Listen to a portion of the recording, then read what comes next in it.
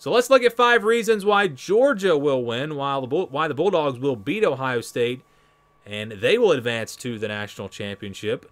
We're going to start with number one here. It's the third down offense for Georgia. They are so good on third downs. There's a, a couple of reasons why. Uh, they're fifth in the country in third down offense. So we're talking about a percentage of, of conversions. They're really good.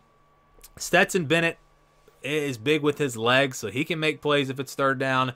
Uh, they have a, a good running game. They've got guys that can get open. They got, of course, the two great tight ends that are able to, to run those short routes. And it's just the fact that they they stay ahead of the chains for the most part. They're going to run the football a good bit. They're going to get into third and three, third and four, third and two. They're not going to be in a lot of third and long situations. And that just plays into their hands because Ohio State in this game, I think, is going to be looking for the big plays. They're going to try to go down the field. And then Georgia, they're going to be running the football, taking some short passes, working these tight ends, controlling the clock. And I think, again, Georgia is going to want to follow the Michigan blueprint here.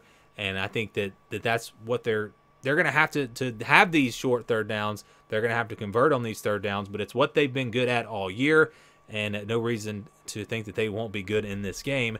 And so now we go to the red zone. So how about the red zone offense for Georgia?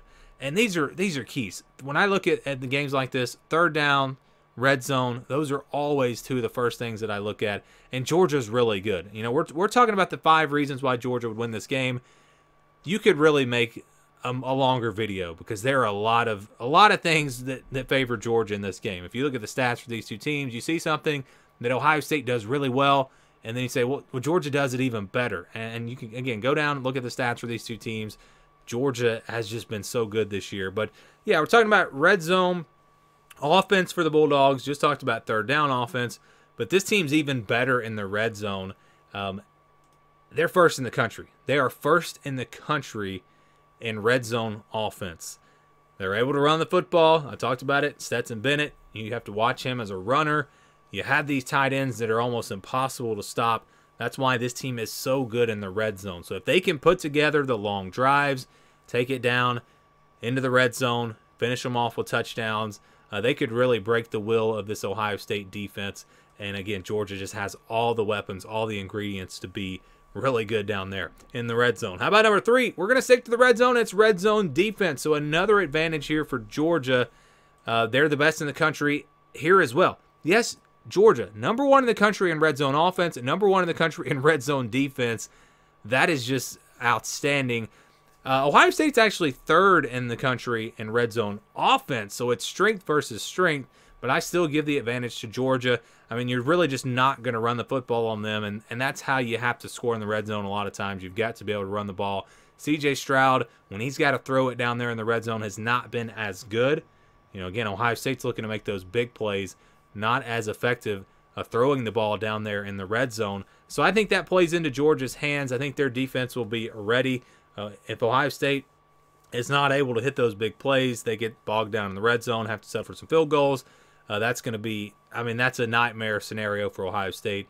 And I think that plays, again, right into Georgia's hands, into their defense's hands. And if they can keep them almost like a bend but don't break type thing for Ohio, for Georgia, just because Ohio State is that explosive on offense, um, I, I think that red zone defense could be the key in this game. If we're talking about a single player for Georgia, it's Stetson Bennett. Uh, you know, it seems like the obvious pick, the quarterback here. Uh, but I, it all kind of goes back to those third downs, back to those red zone situations because of what he's able to do with his legs, which is why he won the job last year, why he wound up starting over JT Daniels because they liked his ability to run the football, move around in the pocket, and do those types of things. And it makes this Georgia team so tough to get off the field on third downs, tough to, to keep them out of the end zone in the red zone. Just talked about it a second ago. Number one in the country in red zone offense. Uh, I think he's a big key for Georgia. He's already done it, won a national championship for this team last year. He's proven that he can make big plays, he can step up in big moments, and this is obviously going to be a big moment here in the college football playoff.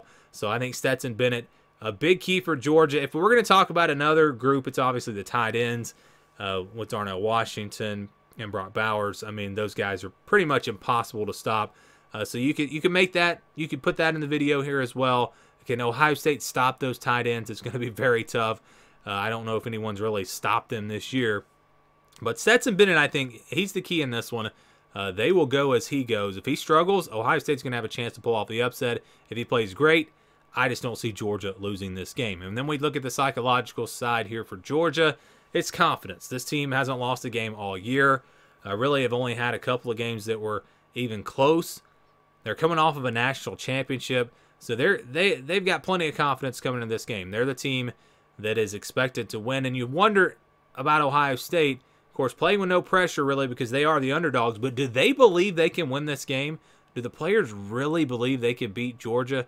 You know that's going to be a big key because Georgia has been so good all year. They've pretty much been looked like the best team all year, and they're a team playing with a lot of confidence.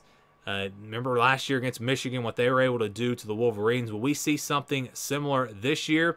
Well, we'll find out. But I do think that uh, the confidence advantage here for Georgia is really big. And, and like I said, Ohio State's got to believe that they can win this game to have any chance. Georgia has a lot of advantages. Talked about the third downs, the red zone, uh, Stetson Bennett at quarterback, all the things he can do. A lot of things going in Georgia's way. And if, if they win this game, I think it'll be because of these reasons that I just listed.